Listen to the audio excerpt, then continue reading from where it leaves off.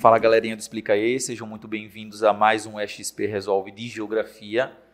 Eu sou o professor Tito, chegando aqui com uma questão do Enem de 2014 em sua terceira aplicação. Vamos nessa?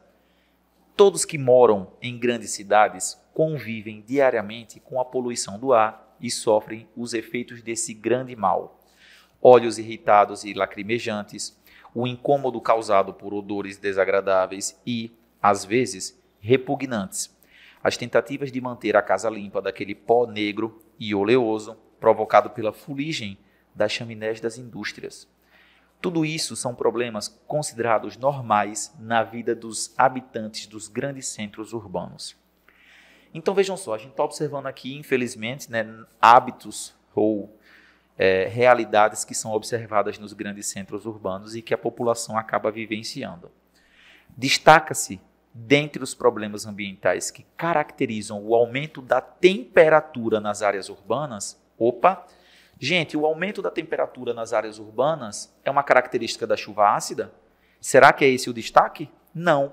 A chuva ácida ela ocorre por conta da emissão de poluentes em regiões de, com grandes indústrias, mas a chuva ácida não aumenta a temperatura do ambiente. Ela vai destruir a cobertura vegetal, né? Ela vai ela acaba desgastando alguns monumentos, tá? algumas estátuas, mas ela não aumenta a temperatura. B, inversão térmica.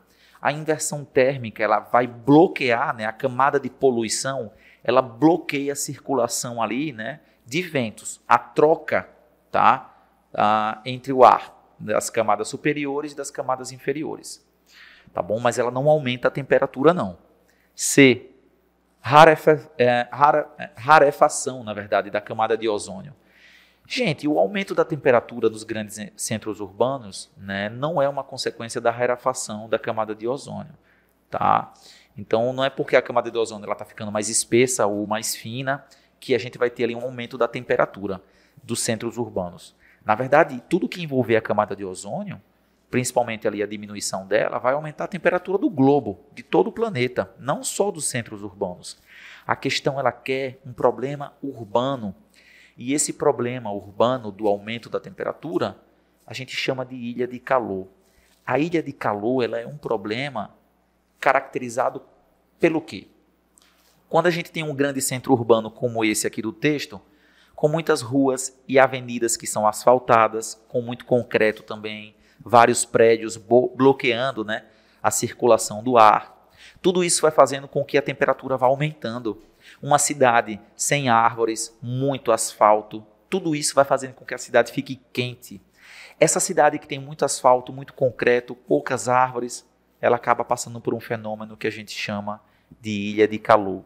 A ilha de calor é uma cidade muito quente, por isso que aqui a gente observa destaca-se dentre os problemas ambientais que caracterizam o aumento da temperatura urbana nessas áreas urbanas é a ilha de calor, tá bom?